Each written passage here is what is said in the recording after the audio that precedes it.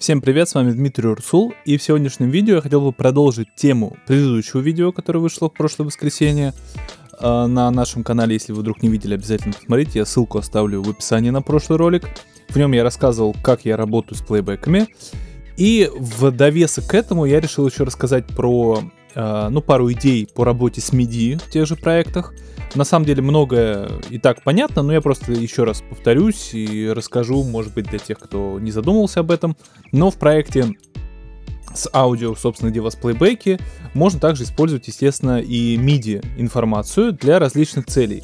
Uh, ну, первая цель это, например, для, uh, для того, чтобы uh, управлять внешними контроллерами. То есть, если вы, например, используете э, у себя в концертной деятельности какие-то э, девайсы, которые поддерживают внешнее управление по MIDI. Это может быть процессор гитарный или вокальный процессор, или может быть э, барабанный модуль какой-нибудь и так далее, то вы можете прописать в Logic изменения собственно, на таймлайне, то есть под каждой песней вы можете создавать свой регион, в котором будут прописаны те или иные команды, которые будут, э, ну, собственно, помогать вам э, на концерте не отвлекаться на переключение каких-то пресетов, на изменение каких-либо параметров. То есть, опять же, все, конечно же, зависит от самого железа, что он поддерживает, то есть, что каждый девайс э, может принимать в качестве управляющей MIDI информации и на что реагировать. Дальше уже, собственно, должна включиться ваша фантазия, благодаря которой вы поймете, как вы можете это применить, поэтому обязательно читайте мануалы по всем вашим девайсам, чтобы хотя бы просто понимать возможности, которыми э, вы обладаете.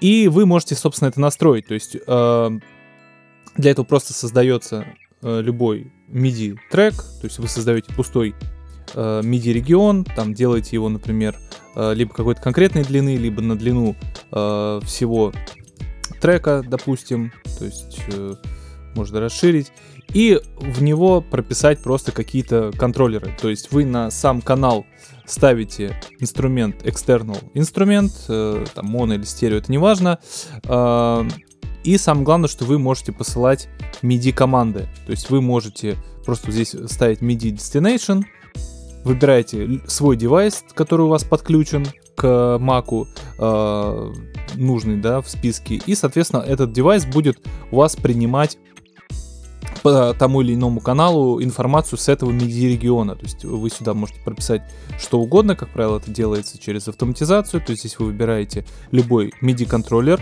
у нас их 128 штук от 0 до 127. А, ну, на некоторые тут, как правило, здесь уже в лоджике, это именно в лоджике параметры такие заданы, но ваш девайс, ваше устройство может принимать, э, скажем так, свои команды по этим каналам, поэтому вы смотрите именно на номер канала, то есть 64, там 104 и так далее. То есть вы можете даже запрограммировать свой внешний девайс, опять же, в зависимости от разработчика, от эм, возможностей устройства, вы можете запрограммировать, что, например, у вас на, 106-м э, контроллере, допустим, управление уровнем дисторшена на процессоре. И вы можете просто задать, что в начале песни у вас, а, например, дисторшен такой, а там к концу песни он у вас увеличивается. То есть таким образом вы потом, когда воспроизводите а, ваш проект и все грамотно подключено, то у вас, соответственно, по мере воспроизведения будет меняться на процессоре этот параметр. То есть и таким образом можно что-то включать, выключать, какие-то э, устройства. То есть, если у вас, например, по какому-то контроллеру передается просто э, информация о включении-выключении, например, включение эффекта выключения, то у вас, получается, будет всего лишь э, два значения. Это 0 и 127. То есть 127 это включено, и 0 это там выключено. И получается у вас, когда идет график, то здесь у вас выключен эффект, здесь у вас он включается 127 и так далее. То есть дальше уже, говорю, все ограничивается чисто вашей фантазией и тем, как вы можете подружить, ну скажем так, через MIDI, а, Logic и ваше внешнее устройство.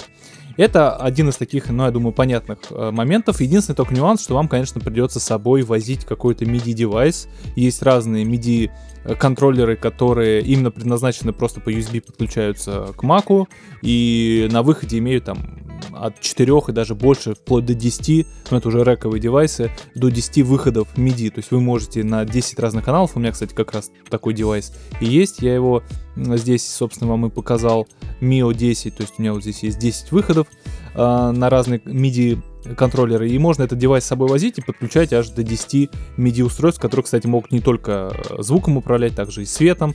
Ну, э, по свету это уже отдельная история, я, честно говоря, ни разу через Logic светом не управлял, поэтому тут я комментировать особо что-то рассказывать не буду, но сама идея такая, что все, что поддерживает MIDI управление, вы можете настроить, но вам нужен будет какой-то девайс.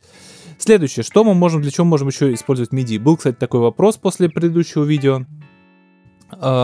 Что как сделать так, чтобы у меня воспроизведение останавливалось после какой-то песни, потому что вы видите, что у меня здесь э, зазоры между песнями совсем небольшие, и если вдруг там я заиграюсь или барабанщик заиграется и не успеет где-то нажать на стоп, а вокалист, например, захочет что-то сказать, он не успеет, потому что уже начнется следующая песня.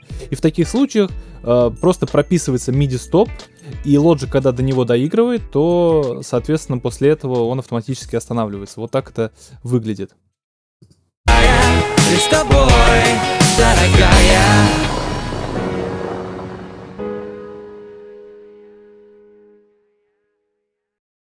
Вот, и вы видите, что воспроизведение автоматически остановилось вот на этом регионе. Как создать этот регион? На самом деле все очень просто. Вы также э, создаете э, здесь просто на этом треке любой регион, его выделяете, и э, открываете event лист. И вот здесь в event листе у вас выбранный регион, и он показывает, что у вас в этом выбранном регионе ничего нету, то есть никакой MIDI информации нет. И вот здесь вы можете нажать на плюс, но сперва нужно выбрать э, мета-events, то есть мета-события. Вот создаете и нажимаете плюс. И у вас создается мета-событие вот в этом регионе. То есть оно какое-то, оно сейчас пока ничего из себя не представляет. Статус мета, первый канал и так далее. И вот, собственно, что э, делает Э, какую функцию исполняет это мета-сообщение, вы выбираете вот в этом списке. Опять же, это может быть э, конкретный какой-то контроллер, еще что-то, но здесь вот есть э, уже заготовленный в логике контроллер Stop Playback, то есть остановить playback. Вот вы его выбираете, и, соответственно, таким образом у вас вот это мета-сообщение будет останавливать, э, скажем так, playback в этом нужном времени.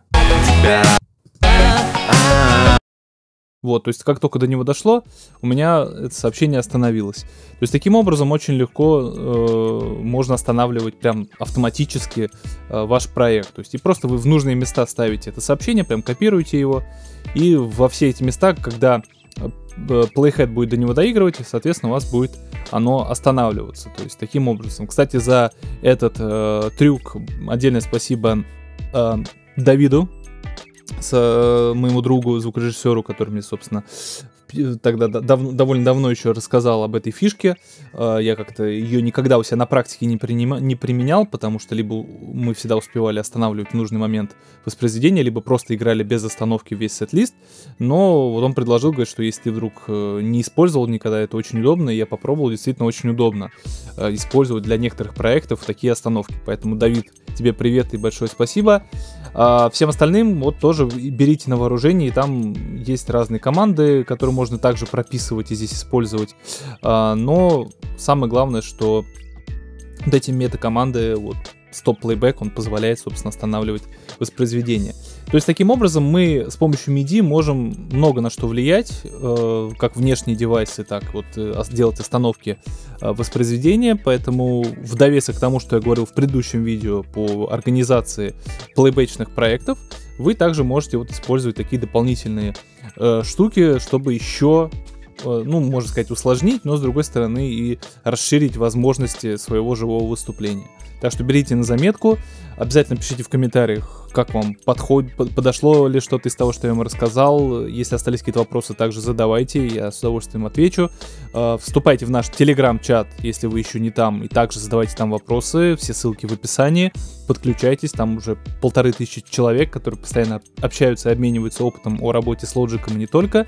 И, конечно же, подписывайтесь на наш канал Logic Pro Help, потому что здесь довольно часто теперь выходят новые видео по Logic, и не только по Logic, по работе со звуком, по плагинам.